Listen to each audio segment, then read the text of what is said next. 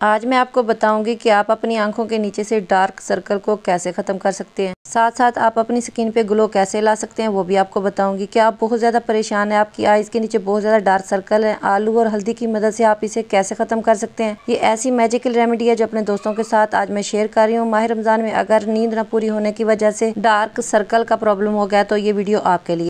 ये पहली बार के इस्तेमाल से ही आपकी स्किन पे वाइटनिंग का काम करेगा।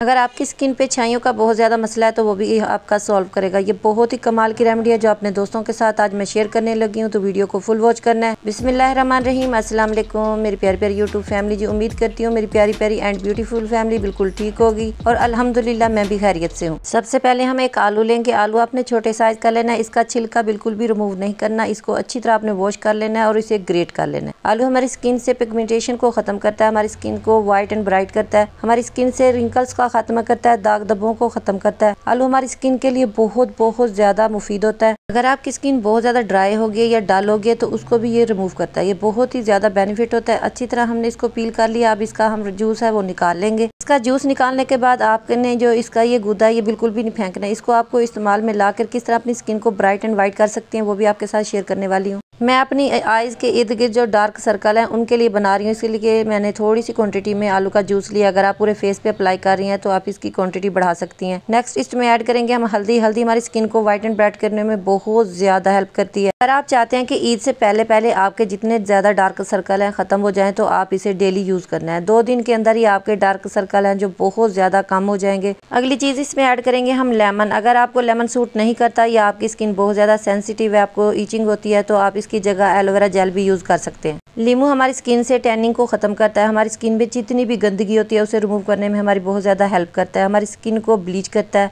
लीमू हमारी स्किन से डेड स्किन को रिमूव करता है और इसमें मैंने तीन से चार ड्रॉप लेमन के ऐड किया। अच्छी तरह इसको मिक्स कर लेना है हमने। ये जादुई रेमेडी तो हमारी तैयार होगी अब इसको आपने क्या करना है? फ्रिज में रख देना है। अब हम स्किन वाइटनिंग की रेमेडी तैयार कर लेते हैं। जो हमने आलू पील किया था, उसके अंदर हमने डालना है कच्चा दूध। रॉ मिल्क हमारी स्किन के लिए बहुत ज़्यादा बेनिफिट है। हमारी स्किन को व्हाइट एंड ब्राइट करता है। दो से तीन टेबल स्पून मैंने इसके अंदर ऐड किया है रॉ मिल्क। अच्छी तरह इसको मिक्स करके दस मिनट के लिए इसी तरह आपने फ्रिज में छोड़ देना है। फिर आपने इसको अपनी स्किन पे अप्लाई करना है। आपकी स्किन को बहुत ज़्यादा व्हाइट एंड ब्राइट करेगा। गर्मियों का सीज़न स्टार्ट हो गया और आपने जितनी भी होम रेमेडीज अपनी स्किन पे अप्लाई करनी है, हमेशा ठंडी करके अप्लाई किया करें। अब हम अपनी स्किन पे स्क्रब करेंगे, ये हमारी स्किन पे स्क्रब का काम करती है, हमारी स्किन पे जितनी भी डेड स्किन है, उसको रिमूव करेगा।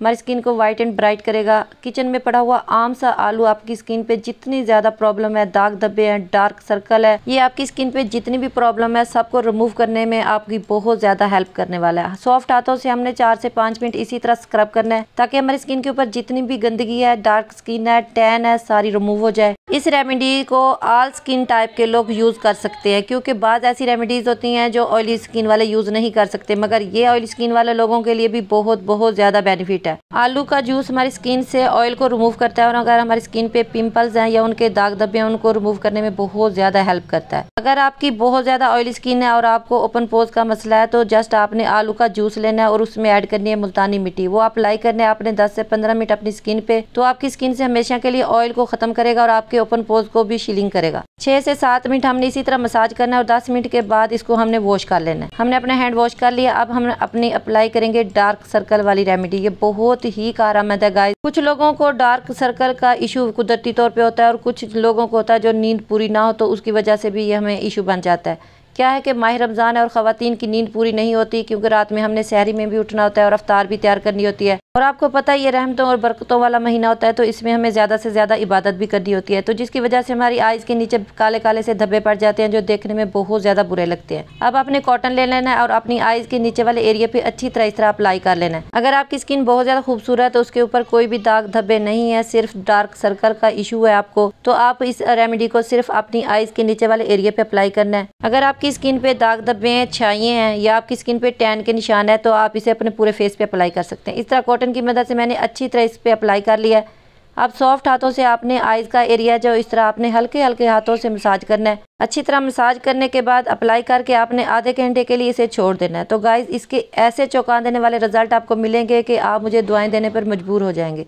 ये बहुत ही कमाल की रेमेडी आपकी स्किन को बहुत ज़्यादा व्हाइट एंड ब्राइट करेगी और डार्क सर्कल तो हमेशा के लिए आपकी स्किन से गायब हो जाएँगे। इसी तरह मैंने इसको आधे घंटे के लिए छोड़ देना, फिर वॉश करके आपको लाइव इसका रिज़ल्ट दिखाऊँगी। तो जी, मेरी प्यारी प्यारी यूट्यूब फैमिली ये देखें मैंने हैंड वॉश कर लिया और मेरे हैंड पे ग्लो देखें आप, कितना वाइट एंड ब्राइट हो गया, कितना नीट एंड क्लीन हो गया मेरा हैंड और देखें जिस हैंड पे मैंने अप्लाई किया था, उसका कलर देखें और जिस पे मैंने अप्लाई नहीं किया, उसका कलर देखें। आपको लाइव दिखा रही हूँ। मैं ज़्यादा दावे तो नहीं करती, मगर इनशाला इनशाला जो भी रेमेडी अपने प्यारे प्यारे दोस्तों के साथ शेयर करूँगी, उसका रिज़ल्ट आपको हंड्रेड एंड टेन परसेंट मिलेगा। आप दोनों हाथों में खुद फ़र्क देख सकती हैं। बहुत ही कमाल की रेमेडी है। ईद से पहले पहले दो दिन आप इस्तेमाल करेंगी तो आपके डार्क सर्कल बहुत ज़्यादा कम हो जाएँगे। तो मेरी प्यारी प्यारी यूट्यूब फैमिली आप लोग चोरी चोरी वीडियो तो देख लेते हैं तो यार वीडियो को लाइक और चैनल को सब्सक्राइब नहीं करते तो प्लीज़ मेरी वीडियो को लाइक और प्लीज़ प्लीज़ प्लीज़ मेरे चैनल को सब्सक्राइब ज़रूर किया करें, ताकि इस तरह की मज़े मज़े की वीडियो आप लोगों के साथ मैं शेयर कर सकूँ और मेरी बहुत ज़्यादा हौसला अफजाई भी हो सके। तो बहुत जल्द एक न्यू और मैजिक वीडियो के साथ आपकी खिदमत में हाजिर हो जाऊँगी, तब तक के लिए मेरी प्यारी प्यारी एंड ब्यूटीफुल फैमिली अल्लाह हाफिज़।